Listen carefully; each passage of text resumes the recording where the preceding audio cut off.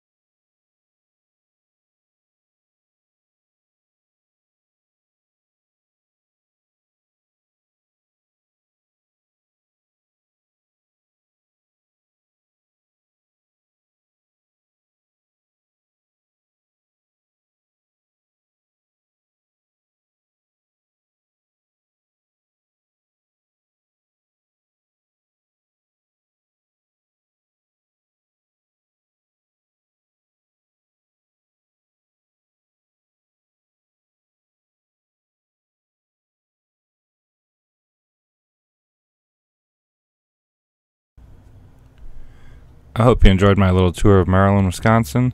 This is the first in a long series. My goal for 2016 is to visit every city and village in the state of Wisconsin. I'm still on the fence if I want to take the time to visit every town as well. No matter what, it will be a lot of fun. All of my pictures will be posted on Facebook and Instagram, and all of my trip plans will be announced on Twitter once I get those up and running. So be on the lookout for those. I will put them in the description once they're made. I hope you stick around and join me on my wanderings. Please subscribe. If you have any stories about Merrillan, or if I missed anything, please leave it in the comments. Otherwise, this is Weeble3131, signing off.